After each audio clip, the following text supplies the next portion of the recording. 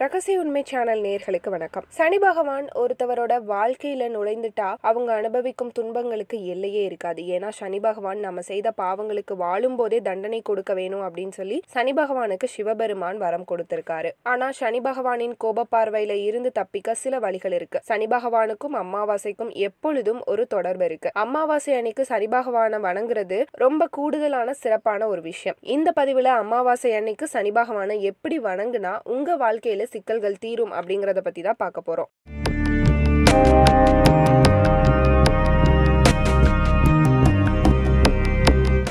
அமாவாசை அன்னைக்கு சனி பகவானை வணங்குறது ரொம்பவே சிறப்பான ஒரு விஷயம். அதில் சனிக்கிழமை அன்னைக்கு அமாவாசை வந்தால் அது ரொம்பவே சிறப்பான ஒரு விஷயம். அமாவாசை அன்னைக்கு சனி பகவானுக்கு மட்டும் இல்லாமல் உங்கள் வீடுகளில் சில இடங்களில் விளக்கேற்றுவது கூட உங்கள் எதிர்காலத்தையும் நிகழ்காலத்தையும் பாதுகாக்க உதவும். சனி அமாவாசை அன்னைக்கு விளக்கேற்றுவது உங்களுக்கு சிறந்த நன்மையை அளிக்கும். நிலவில்லாத அமாவாசை அன்னைக்கு உங்க வீட்டில் ரெண்டு விளக்கேற்றுவது சனி பகவான மகிழ்ச்சி அடை வைக்கும். வீட்டு வாசல்ல இரண்டு புறமுமே மண் விளக்கு ஏற்றி வைங்க. இது உங்க வீட்டில் உள்ள எதிர்மறை சக்திகளை வெளியேற்றி உங்களோட வாழ்க்கையில கொண்டாட்டத்தை உண்டாக்கும். உங்க வீட்டில் பூஜை அறையில விளக்கேற்றி வைப்பது உங்க குடும்பத்திற்கு மகிழ்ச்சியை வழங்கும். இந்த மாதிரி விளக்கேற்றி வைக்கிறது உங்க இல்லத்திற்கு செல்வத்தை வழங்குவதோட உங்க இல்லத்திற்கு பல்வேறு நன்மைகளும் வழங்கக்கூடும். துளசி ரொம்பவே புனிதமான ஒரு செடியா கருதப்படுது.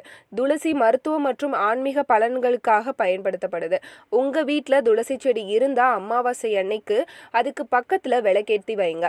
அமாவாசை இரவு அன்னைக்கு துளசி செடி அருகே விளக்கேற்றி வைப்பது உங்க வீட்டிற்கு கடவுளை அழைத்து வரும். உங்க வீட்டு மாடியில விளக்கேற்றி வைக்க மறந்து விடாதீங்க. இது விளக்கேற்றி வைக்க ரொம்பவே முக்கியமான இடம். அமாவாசை அன்னைக்கு அதாவது அமாவாசை இரவு உங்க வீட்டு மாடியில விளக்கேற்றி வைப்பது உங்க வீட்டிற்கு நல்ல சக்திகளையும் மேலும் வீட்டுல அமைதியும் செல்வத்தையும் பெருக செய்யும். உங்க வீட்டு அருகே அரச மரம் இருந்தா அதுக்கு அருகில் விளக்கேற்றி வைக்க மறந்துடாதீங்க.